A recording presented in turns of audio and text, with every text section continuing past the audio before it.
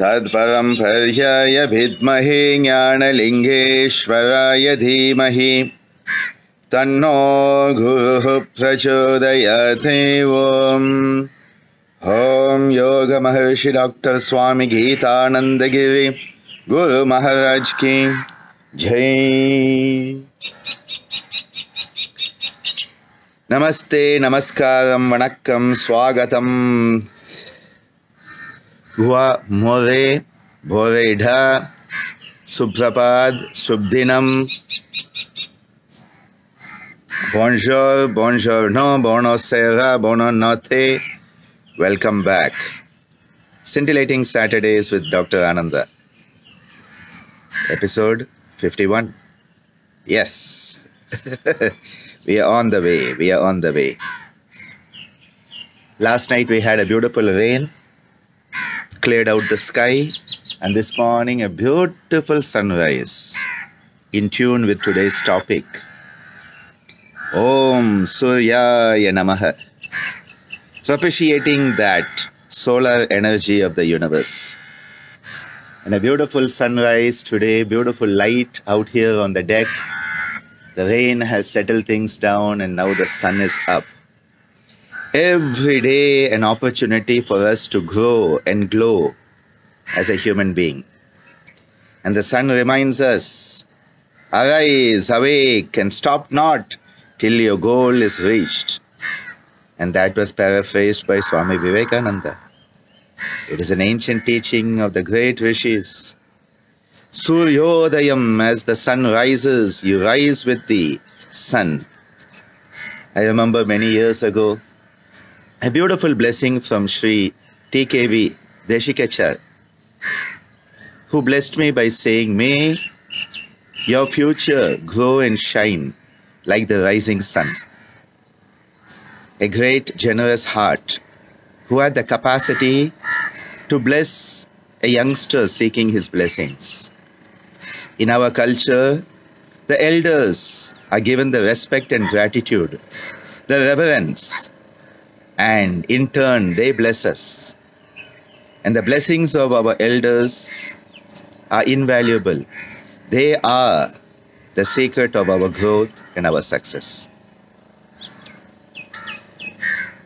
Nama Suryaya. Surya, the sun. Oh, you mean that ball of gas in the sky?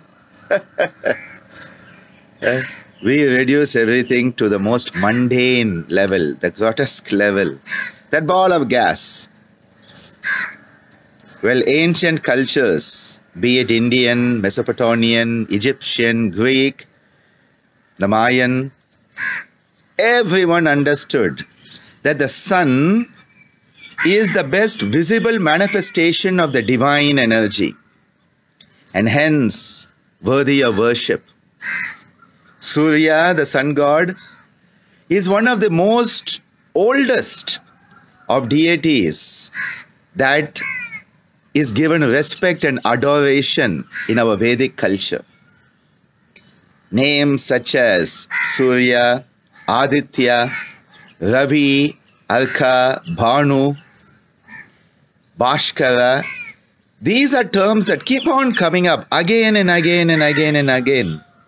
Because what our culture understood was we may not be able to perceive the divine, but we can perceive manifestations of the divine that are worthy of our respect, worship, and adoration.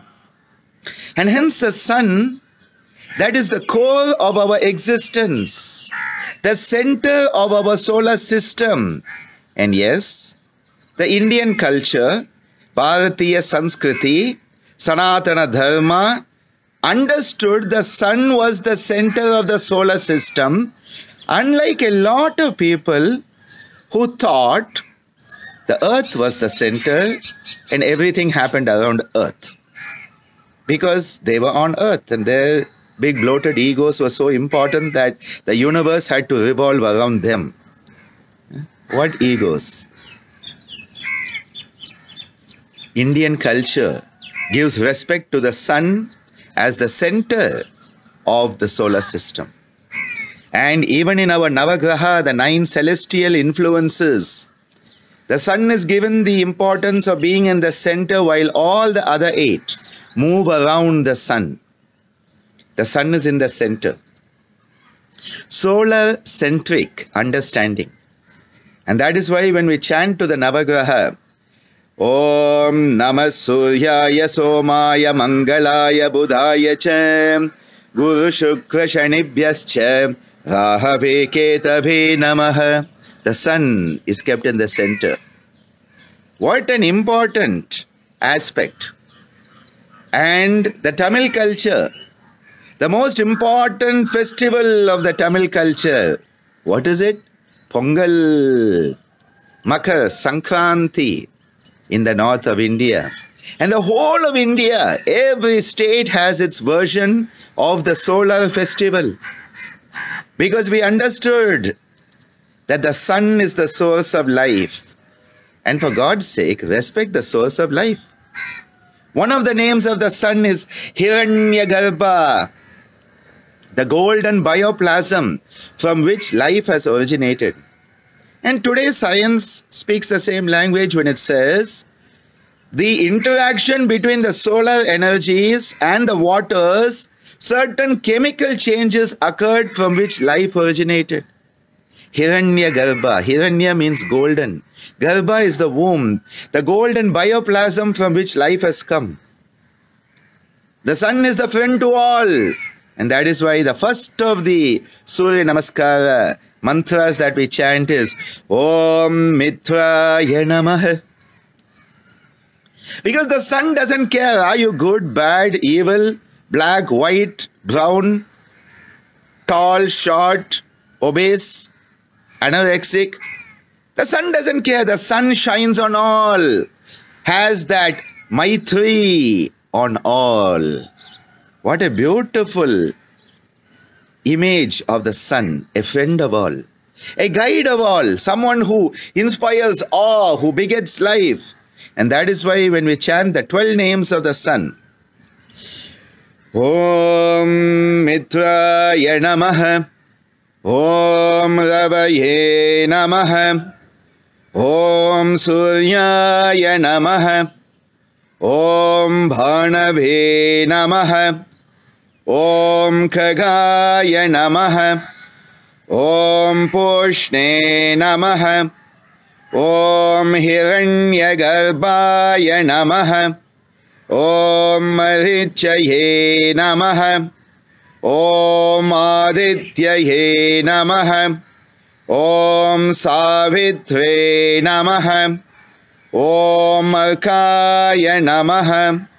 Om Bhaskara Namaha, Om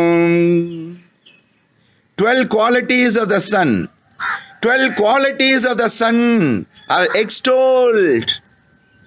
Such beautiful qualities, inspiring awe, begetting life, curing disease. Marichaye Namaha, the destroyer of disease.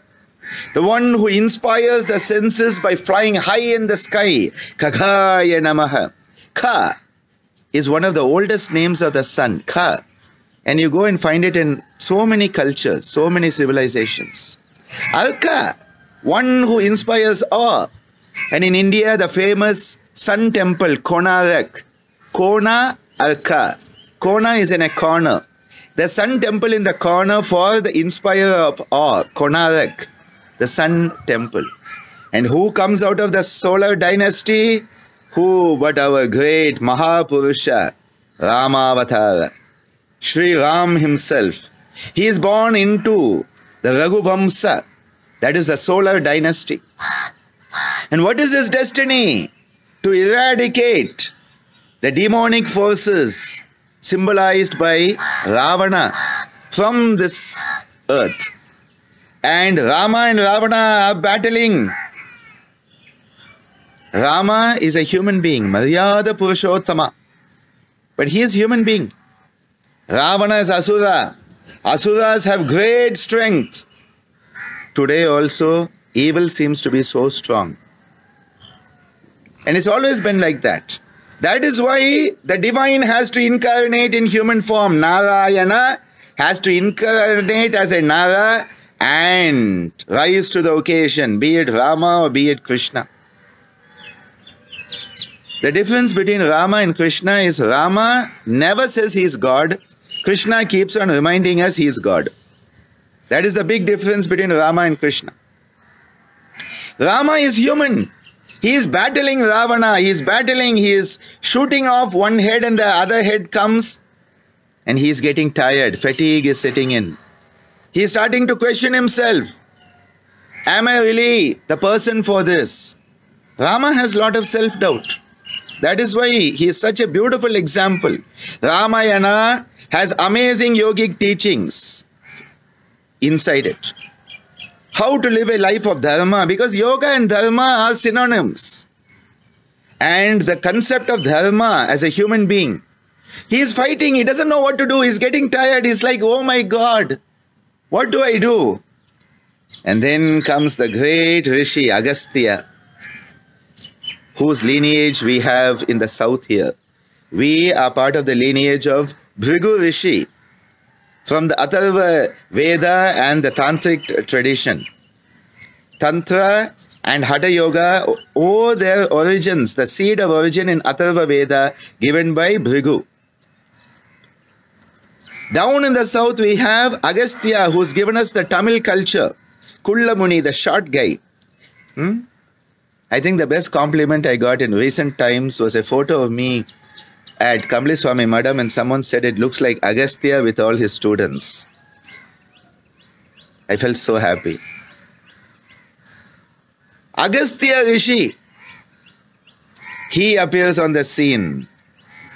He appears on the scene and guides Lord Rama by giving him the traditional chant, Aditya Hridayam, found in the Yuddha Kanda Yuddha Kanda is the chapter dealing with the battle found in Valmiki's Ramayana. In that Yuddha Kandam, in Tamil we call it Kandam, Yuddha Kandam, Agastya appears and to re-energize Lord Rama. How do you re-energize? By invoking the sun by enabling Rama to understand his destiny as a descendant of the solar dynasty is connected to the sun itself.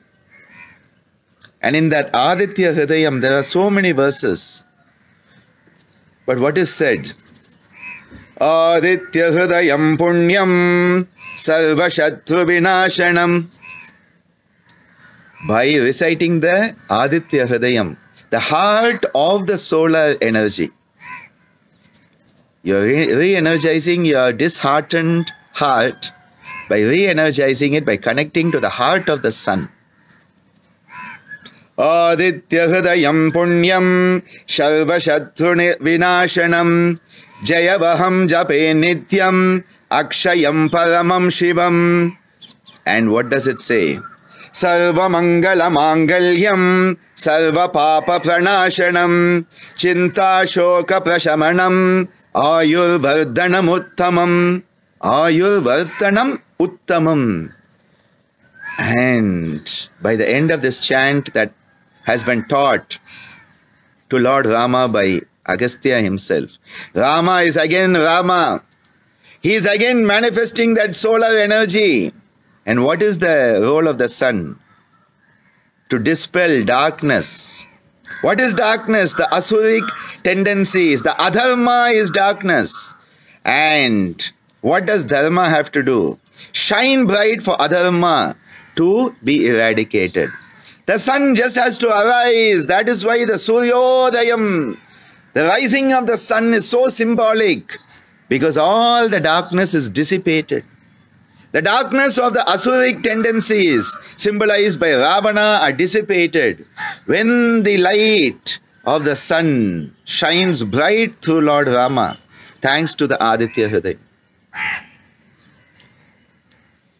There are so many aspects of the sun. The sun, which is on the outside, is the sun on the inside, represented by the Nabhi Chakra. Our navel center is our solar center. And whenever you feel disheartened, whenever you feel depressed, whenever you feel dejected, you need to activate this. How does this get activated? The sound is ha. It's a ha. And whenever I'm teaching this, people go, ha, ha, ha. it has to come from the solar plexus. My father used to go around saying, This is the center of your energy, and I challenge anybody to come and punch me in my stomach and see what happens. And he would punch himself. He would do it like that. I was always worried about someone trying it out with him and what would happen. My son keeps on punching me in the abdomen. Is like, you, you have six pack under that belly. I say, yeah, I keep my six packs, you know, covered safely because I value them. And they are well padded. This is the energy here. This is where your life force comes in, and this is where you have the energy center. And how do you activate it? Ha, ha, ha, ha, ha. And that's why when you speed it up, ha, ha, ha, ha, ha, ha, and speed it up even more.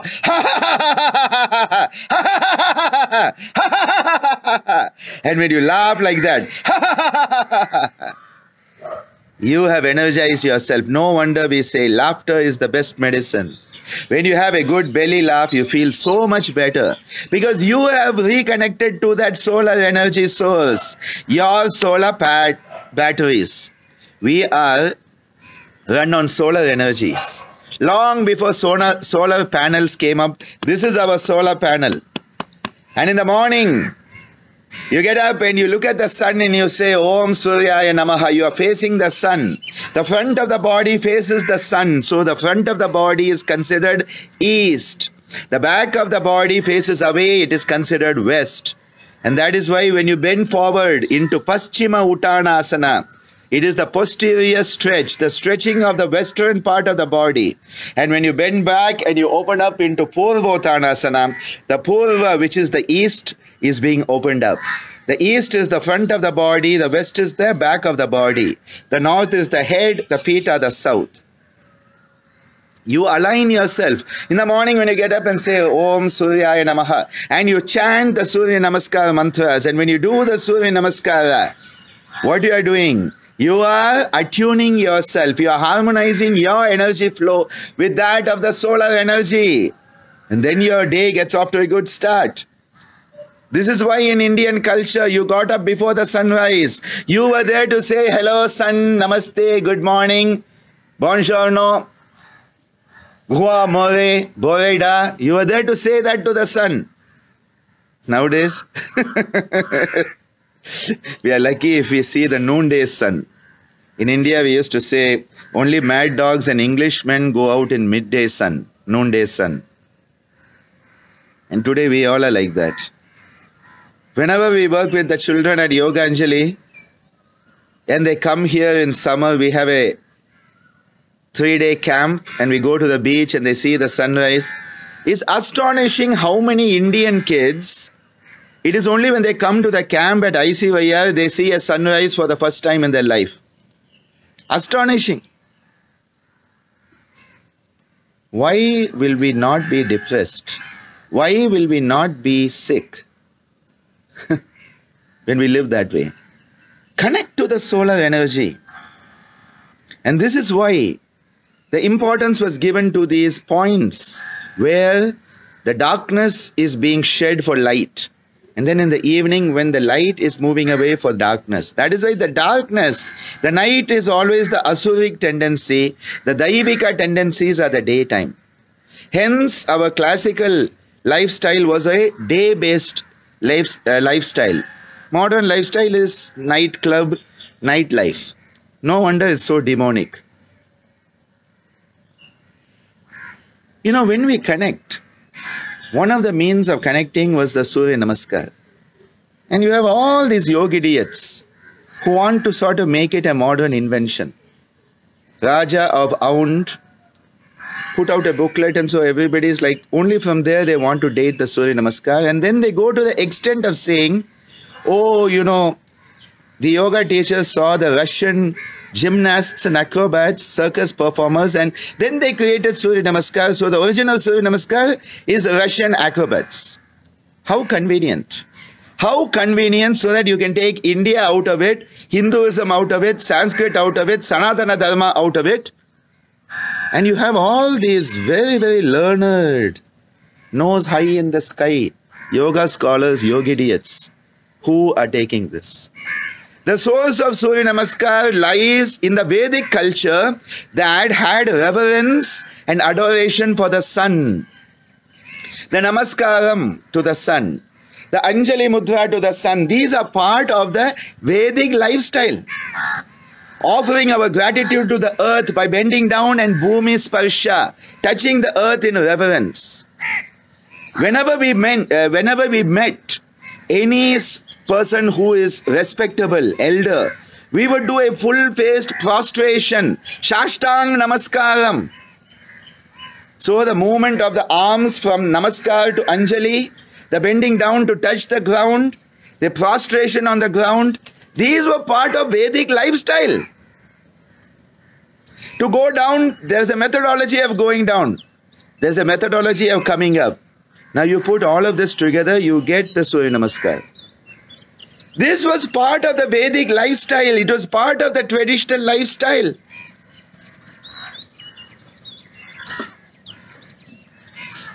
the modern versions of Surya Namaskar have developed from that.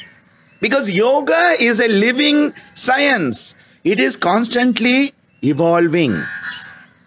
So the concept is there, the core concept of the adoration, the Surya Namaskara mantras, the rituals in which this is to be done, found in the Yajurveda. There are the rituals for the sun worship.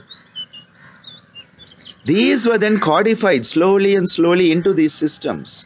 And in our Gitananda system, we have at least a dozen variations of Surya Namaskar. One is the Aruna Surya Namaskar, which is 10 steps, can be extended in the second variation into 12, which is propitiating the red sun. The sun as it is rising and it is that reddish sun. Aruna Surya Namaskar, Arunodayam. We have what we call the Rishikesh Surya Namaskar because that is the variation popularized by Swami Shivananda and his students at Rishikesh. We have a Vedic Surya Namaskar which is a very slow performance where you open yourself up to the sun step by step. And then after opening up to the sun, you start to respect the life forms, representing them, and you go through that uh, format. We have Mahasaurya Surya Namaskar, we have the Shiva Surya Namaskar, and then we also even go into the Kshatriyan Kriya. All of these have been documented in the Surya Namaskar book. Why I'm saying this is people keep on trying to say Surya Namaskar is an exercise, it is not part of yoga. Because they, they, they put yoga into this box. This is yoga. And anything other than that is not yoga. Yoga is Sanatana. Sanatana Dharma and yoga, they go together. Dharma and yoga go together. The Vedic culture and yoga go together. And when we realize that, we start to realize that these moments, when you meet somebody who is at equal to you, you use the Namaskar Mudra. When they are higher to you in spiritual growth, you bring the hands to the forehead at the Agya Chakra. When you are worshipping the divine, you go into Anjali Mudra. You don't do Anjali Mudra for another human being normally. Except if you are a politician in South India where they do this. And Ammaji used to tease our local politicians who, when they do Namaskar also, it is like this. And she said, yeah, you're going to, you know, go and poke everybody and kill everybody. So even your Namaskar is, I'm going to, you know, poke you and kill you. The, the popular, one of the politician pose. Just to get your vote and then swindle you. Cheap gimmicks. Namaskar Mudra brought up to the Agya, brought up into the Anjali. These were part and parcel of this process. Along with that, we realized in our yogic tradition that the solar energy is Pingala. Even the Aditya Hridayam describes it as Pingala, reddish. That is why whenever we talk of prana, it is warm golden prana. Apana is cool silvery apana. Warm golden prana, which is the solar energy. The right energy flow, the Pingala Nadi, terminating at the Surya Nadi, and hence, when you close your left nostril and breathe through the right, it is called Surya Nadi Pranayama. You are working on enhancing the solar flow. When you want to balance it, you close the right nostril and through the left nostril, you do the Chandra Nadi to harmonize with the lunar flow, the apanic flow. The balance between prana and apana, ha and ta. Even hatha yoga is based on that balance between the ha, which represents the sun. Remember? Ha, ha, ha, ha, ha, ha, ha, ha, ha, ha, ha, ha, ha. The energy of the sun. Another concept you find is in the inverted topsy-turvy postures, such as Viparita Karani. Because again, the Hatha Yogis, Hatha Yoga is based on Tantra, Tantra, Atharva Veda, retrace it. They understood that there is an energy and the brain was related to the luna, the moon. That's why we become lunatics and we suffer lunacy and the lunar cycles affect us. The luna. So they realized there is a certain soma. Soma is another name for the moon. There is a certain soma which is an energy that is there in the cranium and it is the soma that you are trying to tap in when you do Khechari Mudra. You take your tongue to the back of your throat and you close the internal nasal orifices and it is said you can connect to that soma. So now the soma, because of gravity, is constantly dripping down. So the soma is dripping down. The soma is the energy of immortality. That is why the devas used to have the soma bana. Today they call alcohol soma bana. Intoxication uh, through alcohol. Another type of spirit. Pondicherry is famous for both spirits spirituality and the spirit of alcohol. And the weekends are filled with people looking for the alcohol spirit, not the spirit of spirituality, which is there in the Siddha Bhumi. So many Siddhas, including our living Siddha, Ammaji. This Soma starts to drip down by gravity. Now at the solar plexus, you have the Agni, Jatara Agni, which is the digestive fire, the Agni. Agni Surya. and that is why the Tejo Mandala, the mandala that is related to this is related here to the Manipura Chakra, Nabhi Chakra. And that is why the energy of Samana, digestion is related here. So by gravity, the Soma is dripping down and it is getting burnt up it is getting burnt up. Jwalanam. Hmm? It is getting burnt up by the digestive fire. And hence we are becoming mortal. We are suffering mortality. The yogi said, How can we prevent it? They said, Well, turn the equation upside down. So legs up, head down.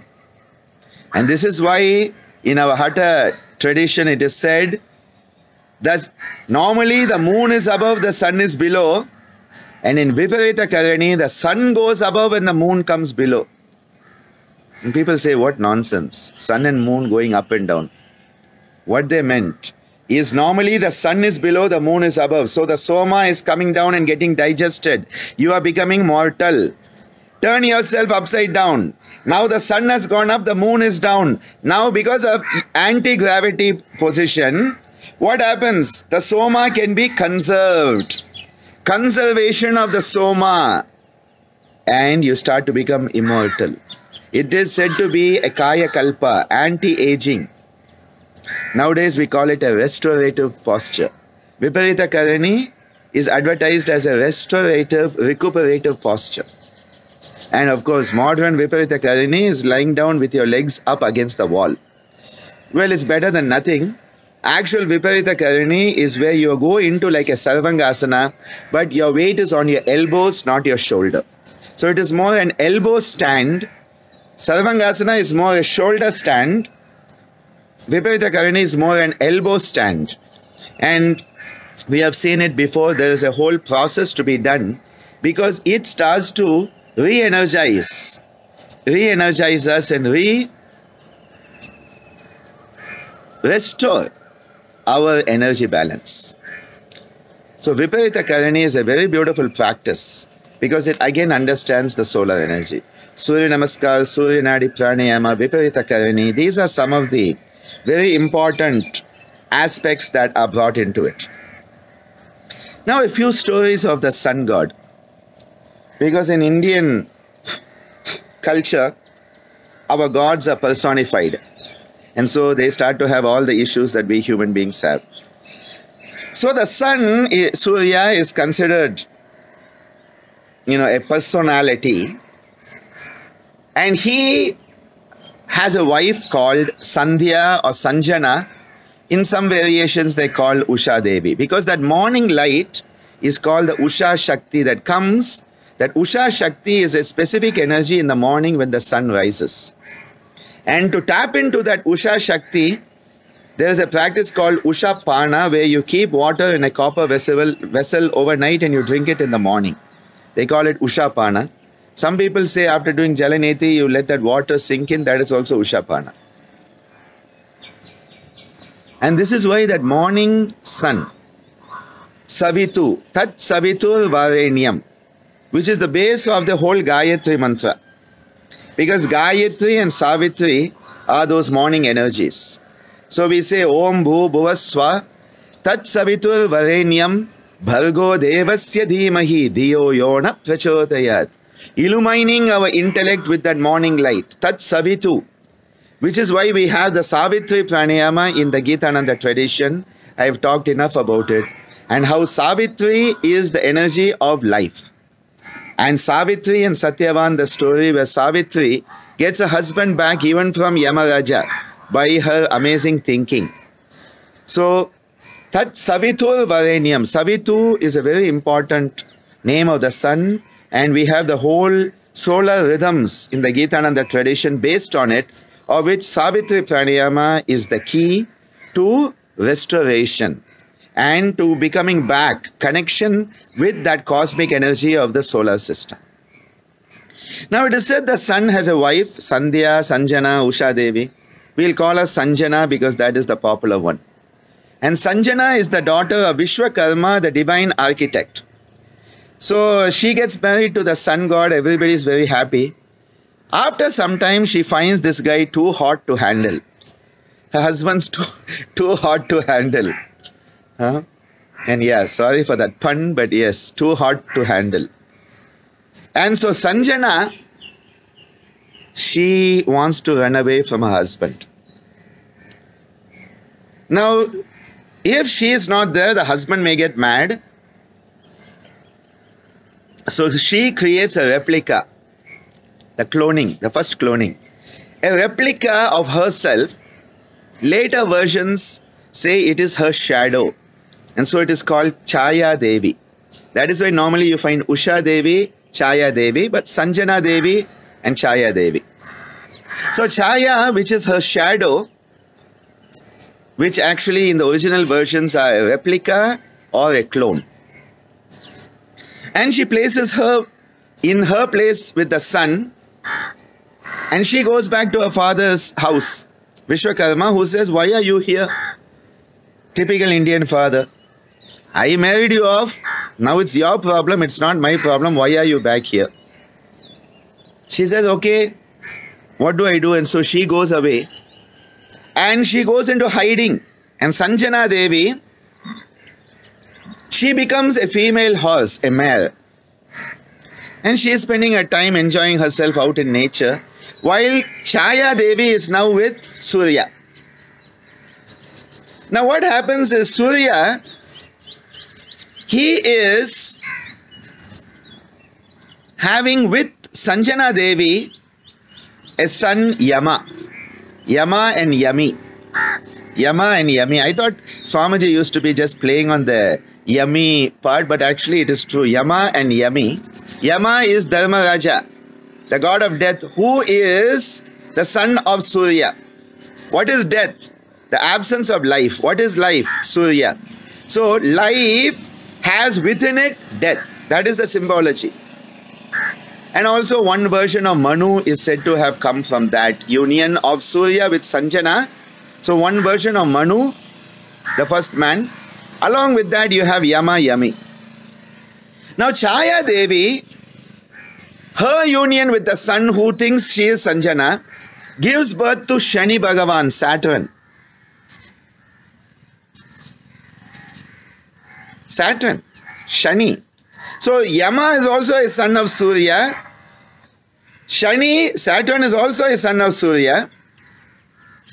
And the story goes on until Yama finds out that Chaya Devi is mistreating him. Stepmotherly treatment, he realizes, kicks her, gets cursed for it, and the cat's out of the bag. And Surya realizes this is not Sanjana Devi, this is Chaya Devi. And then the truth comes out. Now it is said that Surya then goes looking for Sanjana Devi, who is now in the form of a female horse, a mare. So he takes on the form of a horse and out of that union between Surya and Sanjana Devi in the form of the horse come the Ashwini Kumaras, who are the divine physicians. They are the doctors of the gods. We had Doctors' Day a couple of days ago. Hmm? Ashwini Kumaras. And I always used to wonder why are they called Ashwini? Because Ashwa is horse. And this realized suddenly in my consciousness, I'm like, ah, because the Surya as a horse, mating with Sanjana as a mare, had offsprings, the twin offsprings called the Ashwini Kumaras. So if you look at Surya, he has Manu as a son, the first man. So man is born out of the sun. Again, all allegorical, also metaphorical here. Death, Yama is also born out of sun. Shani, who everybody is scared about seven and a half years of Saturnine influences, is again out of the sun, but from the shadowy aspect. The bright aspect, the shadowy aspect. And then you have the Ashwini Kumaras. Now this goes down even further into the Ramayana. And in the Ramayana, you have the two brothers who are called the monkey kings. They were not monkeys. These were South Indian kings, and because of racial prejudices, they were termed monkeys. There were no monkeys. They were just great South Indian kings. Vali and Sugriva. Vali is the elder, and Sugriva is there. And there are a lot of stories of the battle. Vali is killed by Rama. We know that story. Sugriva goes on to help Rama in his battle with his Vanara Sena, the monkey army. Again, not monkeys, but that's how it's termed. Here you find a very interesting aspect that Vali is the divine son of Indra, the god of the heavens, and Sugriva is the divine son of the sun, solar Surya. So Surya's son is Sugriva, who's battling Indra's son, who is Vali. Ramayana time. Come to Mahabharata time. Who is the son of Surya? Karna, the great warrior Karna, who had such generosity of spirit that he gave away even his all accumulated dharma and punya to Lord Krishna on the battlefield. Krishna, the divine, comes to beg from him, give me your punya. Because as long as that punya and dharma is there, you will not die. And he gives it away, even on his last breath. Karna is the son of Surya. No prizes for guessing. The son of Indra, Arjuna. Arjuna, Karna in the Mahabharata. Vali, Sugriva in the Ramayana.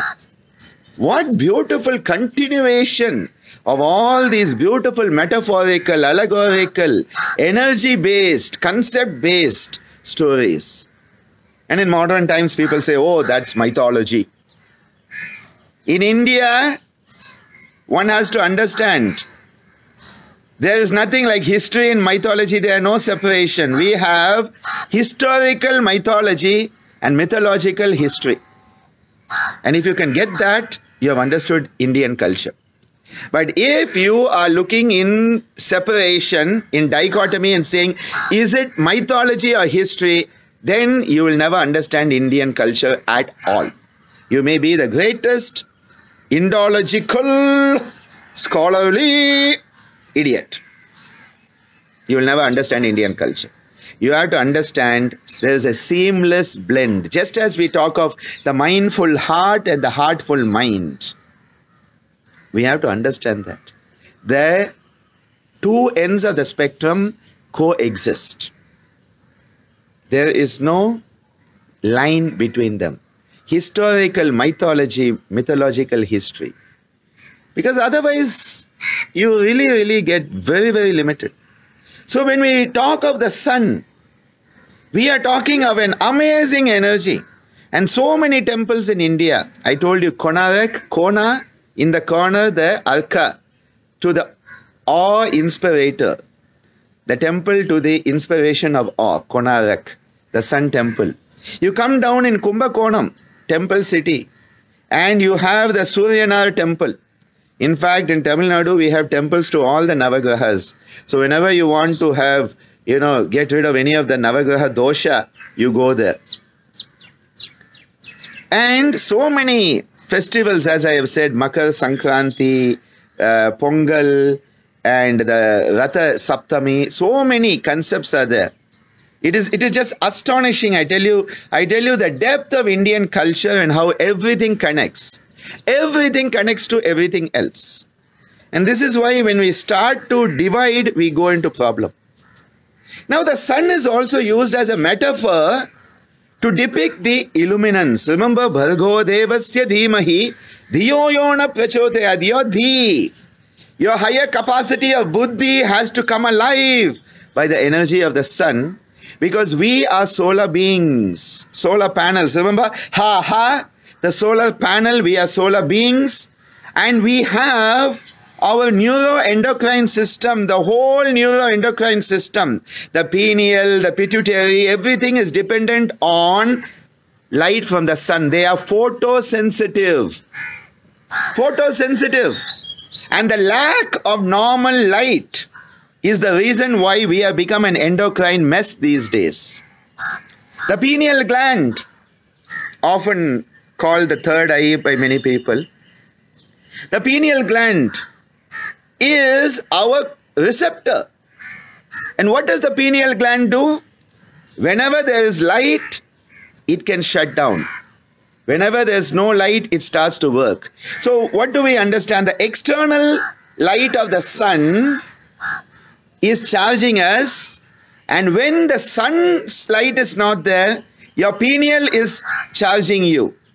It is like your inverter system, your uninterrupted power supply. When you have electricity, electricity will run your system. And then when electricity is not there, it goes on to the inverter, the UPS. Our pineal gland is like that. So the absence of the natural light and the pineal says, oh, it's my duty time nighttime duty is always working the night shift. Pineal always works the night shift. The sun is always working the day shift. Hmm, sun doesn't have to work a night shift and pineal doesn't work a day shift. The pineal gets activated the moment darkness comes. And the pineal is the supreme master of the whole endocrine orchestra. We talk about you know, the pituitary being the master conductor, and then they said, oh, no, the hypothalamus is above it. Above all of this is the pineal gland. And the pineal gland is photosensitive. When it is darkness, it comes alive. It says, I have to do my job. And when the light comes on, it says, now is my time to relax. Now, what has happened in modern times? All our artificial lighting has become daylight equivalent to daylight. This is where science, without morals and ethics, is asuric. It is adharmic. When science doesn't have morals and ethics, when it is not based on morals and ethics, it becomes adharmic, it becomes asuric. And so you have modern lighting which is said to be equivalent to daylight. So you have all these lighting towers so cricketers can play at night with a light that is equivalent to the normal light. You go to the airports, you don't know is it day or night because the light is so bright like normal daylight. Now imagine the poor pineal gland. With such light, it says, My duty time has not yet started, and so it is still relaxing. And what happens is over time, because of this abnormal system, the pineal gland starts to shut down. It starts to atrophy. It starts to calcify.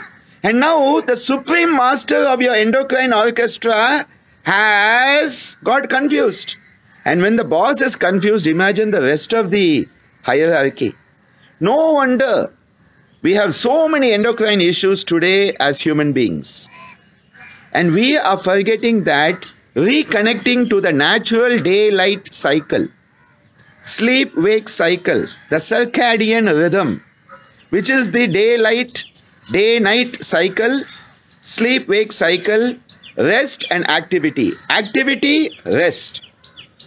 Day, night. Wake, sleep. Now let's replace it with Pingala Ida, Surya Chandra, Prana Apana, Ha Ta. And you get the message. We have become imbalanced because of focus on activity all the time. You need to have the deactivation also. Spanda has to be balanced by Nishpanda.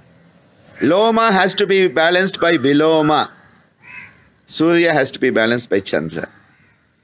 Well, we'll look at Chandra on another day, but this is just something I wanted to bring to you. And even when we describe Ganesha, we say, How bright are you, O Ganesha? Surya Koti Samaprabha. when we say Vakratunda Mahakayam Surya Koti Samaprabha Nirvignam Kuru Me Deva Sarva Sarvada Vakratunda Mahakayam surya koti samaprabha nirvignam kuru निर्विघ्नं कुरु मे sarvada surya koti you find phrases like bhanu koti Bhanu Koti, Surya Koti. What is Koti? It is a 10 million. 10 million suns. That is your effulgence. So even to describe Ganesha, we are using the sun as a metaphor. And this is why the sun, Surya, Aditya, Savitu, what a beautiful energy that we need to connect to. And we need to connect to the inner sun. We need to connect to the inner sun. And we need to understand by connecting the inner sun to the outer sun, the microcosm and the macrocosm become one and the same. And in that equality, equanimity, equilibrium between us and the cosmos, we will reattune ourselves, reconnect ourselves, and move from imbalance to balance. We will move from suffering to ease, and we will move from darkness to light. I think that is the message for today I wanted to share with you. So many beautiful aspects of the sun. And of course, the sun as the guru. Lord Hanuman, when he wants to gain wisdom, who does he go to? Surya Bhagavan. And Surya Bhagavan forgives him for trying to swallow him as a baby. And he teaches him. And Hanuman has to keep up with Surya. Surya is moving. Surya is moving. And Hanuman, in order to learn with him, because Surya says, I cannot stay in one place just to teach you. I have to keep on doing my dharma, my, I have to do my duty. And he says, if you can keep up with me, I'll teach you. And so Hanumanji, he flies at the velocity of the sun. What a beautiful concept. Um, we talk about geostationary satellites. Hanumanji becomes a Surya stationary satellite. Solar stationary satellite he becomes. He is staying just like the satellite moves at the speed of the Earth's rotation so that it is stationary. Geostationary, we call it. Hanumanji has to move at the velocity of the sun in order to be sun stationary, Surya stationary. What a beautiful concept. And Hanumanji faces the sun. You cannot face away, you cannot turn your back to your guru, okay? And so Hanumanji is moving backwards. What a beautiful concept. Many people try to say that Hanumanji's movement is the origin of the Surya Namaskar, or his leaping across the sea to Lanka is the origin. So many concepts are there, but remember, the worship of the sun is one of the oldest aspects of Vedic culture. And out of that, reverence for the sun, out of that reverence for the sun, paying our reverence to the sun, expressing our gratitude to the solar energy that is enabling us to be alive and have a life. From that is born the practice of the Surya Namaskar. So, whenever people try to say it is not yoga, it is a modern invention, well, they are they, they are talking of yoga in the box. And yoga in the box is not yoga because anything in a box is dead. Remember that? As my dear Kaustub likes to call it, Jada yoga. Uh, my preference is plastic yoga because plastic's also dead. But Jada yoga, plastic yoga, and they try to limit it. Yoga is not private limited. yoga is universal, unlimited. Thank you for being with me, and we continue these Saturday morning sessions. Today was the 51st, and well, when we come to 54, it will be one year of doing it. So we are close to that, and we'll keep doing it as long as we can because you keep being there, and I'll keep doing it. Hmm? I'll keep doing it because uh, fulfilling my destiny, as I promised Ammaji. And she said, Absolute promise? I said, Yes. I said, You have given me the tools to fulfill my destiny. You have given me the path. You have given me the heart. Now it's my job to fulfill it, and fulfilling my destiny is part of my dharma. And that dharma is what I owe to the great fortune I have to be born to Swamiji and Ammaji. What a beautiful, uh, what a beautiful opportunity to grow, to share. And remember, when we can share and care unconditionally with love, then we are truly being human. We are fulfilling our Manushya Dharma. Thank you for enabling me to fulfill my Dharma, my destiny, by being on the other side of the screen. Dhanyavadaha, ஷுக்ரியா கிராட்ஸே டேங்கே நன்றி வணக்கம்.